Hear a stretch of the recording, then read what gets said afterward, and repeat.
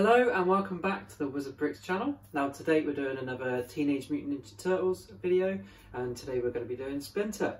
So without further ado, let's crack on building.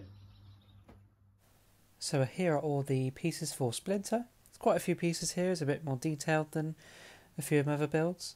But most of it is brown and the dark red there. Yeah, not too many difficult pieces to get, but if you want to make a note of any of those, take any screenshots or anything, you can do that. But without further ado, let's crack on building.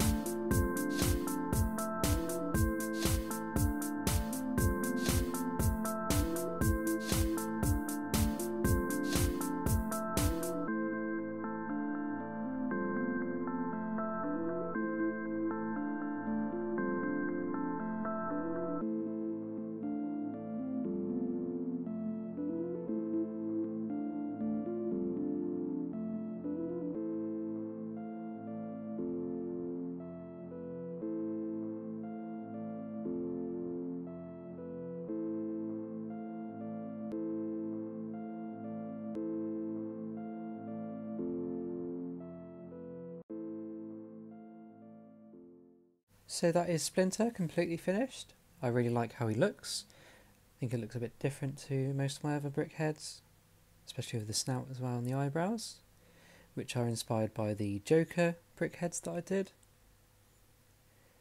But yeah, I really enjoyed making this one, a nice addition to the Teenage Mutant Ninja Turtle theme that I've done so far.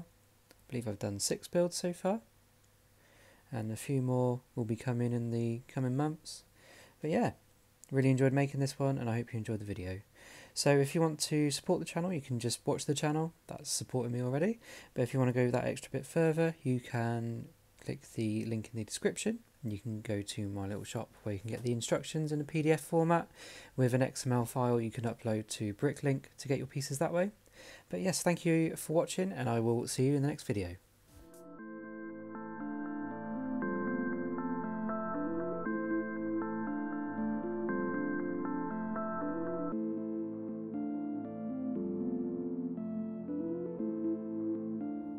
Thank you for watching and if you want to watch one of my other videos focusing on the Teenage Mutant Ninja Turtles, click this video right here. But thank you very much for watching and I'll see you in the next video.